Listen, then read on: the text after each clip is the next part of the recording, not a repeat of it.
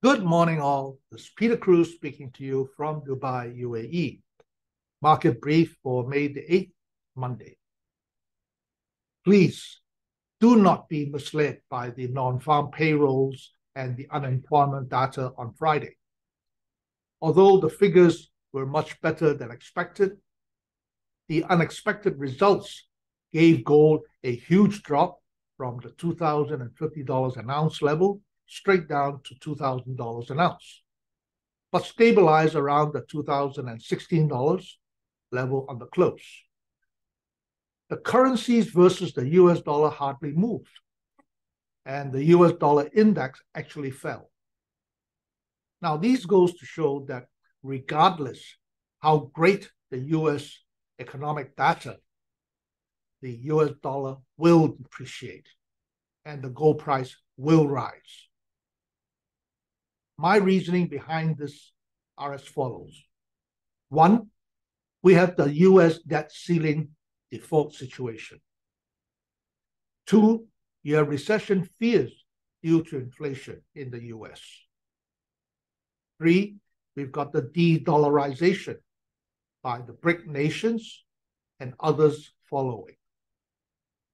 Four, you've got the US banking crisis. Five, central banks around the world are hoarding gold, such as China and India. Six, the US dollar index will drop below the 100 level. And last of all, we have Saudi Arabia selling oil to China with Chinese yuan. Now, all the above undoubtedly will depreciate the US dollar and of course will give rise to gold and currencies versus the US dollar. Gold could hit the $2,500 level before the year is up. That's about all I have for you this Monday. Let me share my daily forecast with you right now.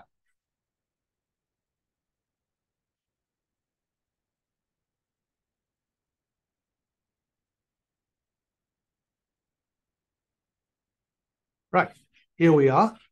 As you can see, with the uh, non-farm payroll and the unemployment data on Friday, the euro is still at a very firm level of 1.1050 and higher. Okay, the British pound gained strength, so at around around the 1.26 level, it's a good buying level. All right. The Japanese yen did not move much, and so selling the dollar yen at 134.50 is still a good advantage.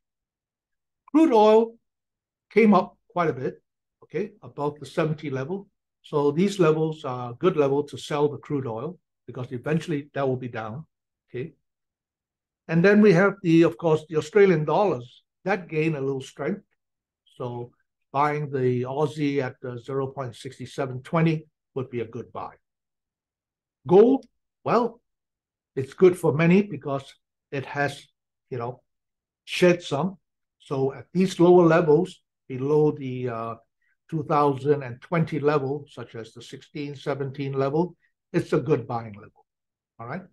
On that note, I thank you all very much for your attention, and I wish you all a very pleasant, happy, and prosperous trading day. But make sure you have stopped whatever you do. Like I always says, this is only my opinion and doesn't constitute any form of guarantee or promises of profits. Okay, but of course, please subscribe to my video down there, and uh, I thank you all very much. I'll talk to you again tomorrow. Okay, bye bye for now.